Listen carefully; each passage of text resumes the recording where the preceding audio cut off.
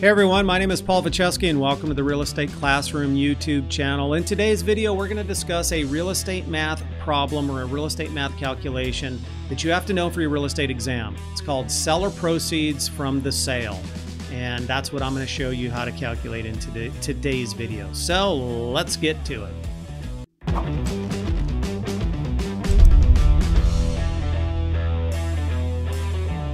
So in today's real estate math video, I'm going to show you how to calculate seller proceeds. It is a function that you have to know as a real estate professional uh, when you're listing properties. But it's also something you have to know for your real estate exam, especially if you're taking the PSI exam.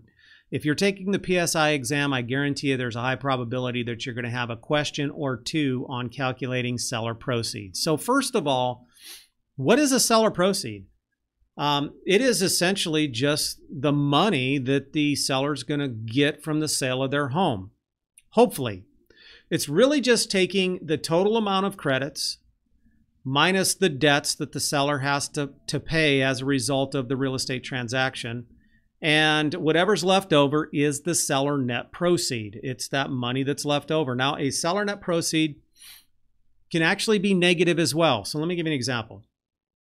Seller sells his house for $100,000. There's $50,000 in liabilities against the house, such as uh, the mortgage needs to be paid off, the real estate commissions need to be paid, those type of things.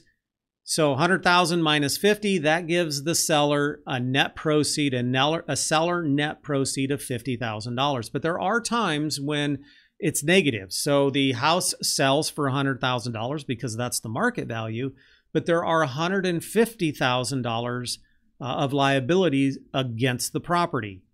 So the seller's going to have to bring $50,000 to the closing transaction. That's a negative proceed situation. So it can be positive or negative. All right. So my goal here with this video, though, is just to show you whether it's going to end up being negative or positive, um, how to calculate that and how to process it. So let's take a look at that, uh, the processing part of this. Now, understand that there are certain types of items or certain costs and certain credits that's going to be listed on your seller proceeds statement. Credits to the seller are things that like the sale price or the, the loan escrow balance. Now, remember from a previous video, the loan escrow account is that separate account that the lender sets up on your behalf. So there's money available to pay property taxes and insurance every year.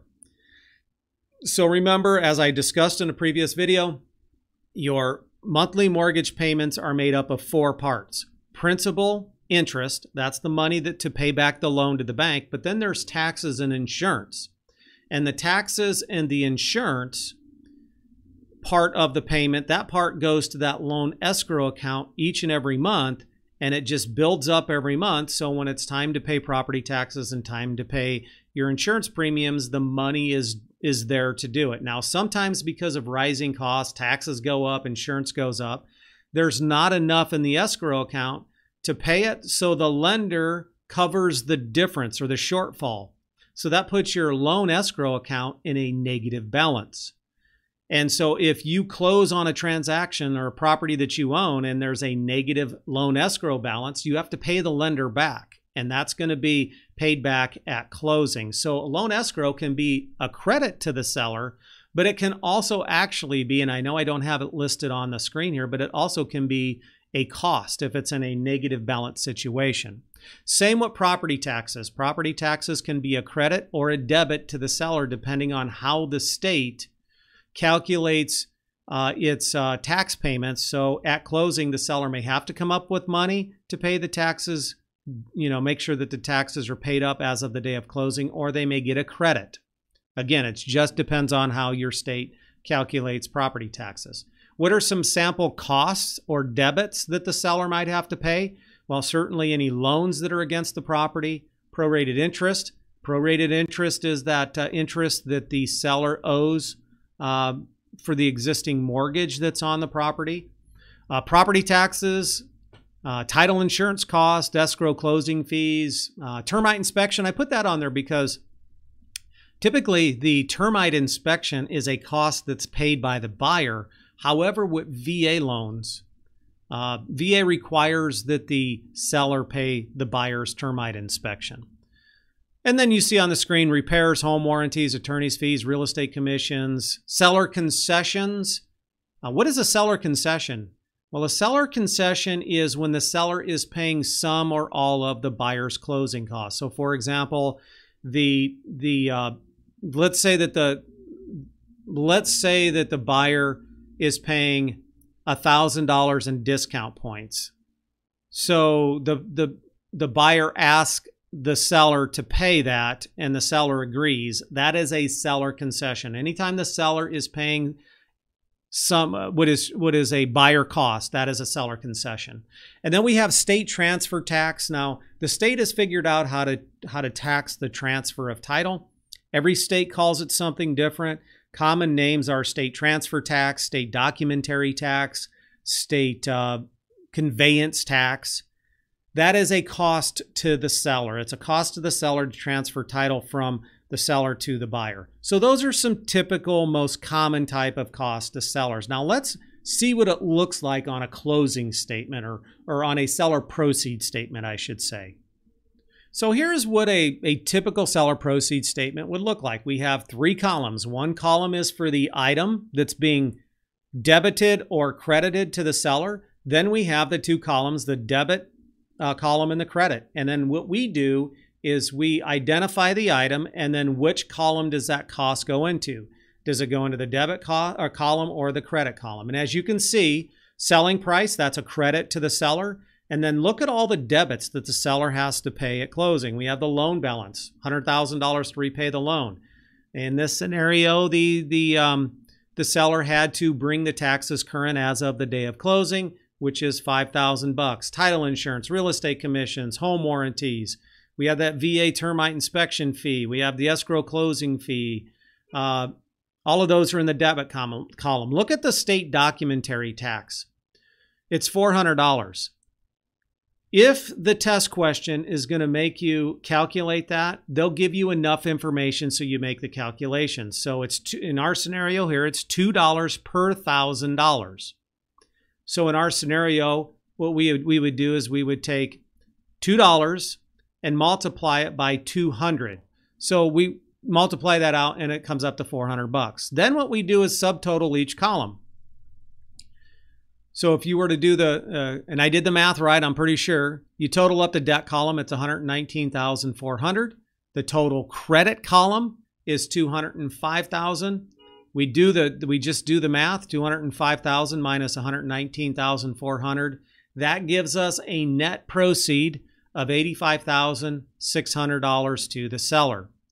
Now I know there is a typo there. It says 85 comma 6,000. It really is should be $85,600. Sorry about that. So anyways, that is what a typical um, example of a seller proceeds statement would look like. It's just a matter of identifying identifying the item and then putting it into the correct column, the debit column or the credit column. So let's take a look at what a um, a sample real estate exam test question regarding seller proceeds might look like. It says Tom Seller sold his house for $300,000. He agreed to pay his broker 6% of the sale price for the commission. Tom also agreed to pay for a new roof costing $5,000. Title insurance costs $1,000 and is split equally between the buyer and the seller, but Tom has agreed to pay the buyer's portion. Annual property taxes are $1,200 and Tom owes for nine months. The escrow closing fee is $400 and is split equally between the buyer and the seller. What will be Tom's proceeds from the sale of his home? Okay, that's a very common, typical, uh, you know, calculation you're going to have to do. What? Here's what I would tell you: a lot of times students see that long word problem, math problem, and they freak out and they get anxiety, and it's understandable. But what I teach my students to do is to take each item or each sentence and then just itemize the cost or the credits. And you'll see what I mean in a minute here. The best way to do these problems is to do it sentence by sentence. And, and again, you've seen the spreadsheet back up here You're not going to get a spreadsheet when you go into the exam room and take the exam, but you're going to have scratch paper and a pen. Okay? All you have to do is just make three columns. As you see right on your screen, we have an item column, a debt, and a credit. That's all you have to do as we are going sentence by sentence. So let's take a look at that. Okay, so let's look at the first sentence here. It says Tom Seller sold his house for $300,000. Well, that first sentence tells us that the item is sale price and it is an asset or a credit to the seller. So we put $300,000 in the credit column. The next sentence, he agreed to pay his brokers or his brokers 6% of the sale price. That's the real estate commission. Now we have to do a little calculation there. So what, how we calculate that is we take 300,000, we multiply it by 6, hit the percent key, and that'll give us $18,000. So Tom is going to pay his broker $18,000 in commission, and that is a debt to the seller. The next sentence Tom also agreed to pay for a new roof costing $5,000. So that's repair, and that is a that is a debit to the uh, or a cost to the seller. So we're going to put it in the debit or cost column. Title insurance cost $1,000. That's the total cost, $1,000, and it is split equally between the buyer and the seller. However, excuse me, Tom agreed to pay the buyer's portion. So normally it's a it's split that thousand dollars would be split equally, which would be 500 to the buyer, 500 to the seller. However, Tom Seller agreed to pay the buyer's portion of it, so he's going to pay the full $1,000 cost. So that is a cost to the seller, so we're going to put it in that cost column. Annual property taxes are $1,200 and Tom owes for nine months. And we have to do a little calculation here. You can see on the screen it says $900 that we put into, into the debit column, but how did we get that $900? Well, it's pretty simple. Our annual property taxes, which is 12 months, is $1,200. So we just take $1,200 divided by 12 months, gives us a monthly rate of $100 per month. We take that $100 per month and we multiply it by nine months. That gives us the $900 that you see here on your screen. Okay, that's how we would calculate taxes. And that's a realistic um, calculation example of what you would have on your real estate exam. All right, the next sentence says the escrow closing fee is $400 and it's split equally between the buyer and seller which means the total cost is $400, but the buyer and seller are, are paying 50 50 here. So it's 200 to buyer, 200 to the seller. So we put $200 in the, the debit column uh, for the seller. And then finally, what will be the proceeds from from uh, the sale of the home? Well, we have to then add up the subtotal of each column. So it, when we add up all the cost in the debit column, we get a subtotal of $25,100. When we add up the credit column, it's $300. And how do we find the proceeds? Real simple. We take $300,000, which is the credit, we minus the $25,100 in costs, and that gives us a net seller proceed of $274,900. That's how we calculate a seller proceed. Once again, don't forget when you first see this math problem, this seller proceed problem, it can be overwhelming because like, wow, there's a lot of numbers in there.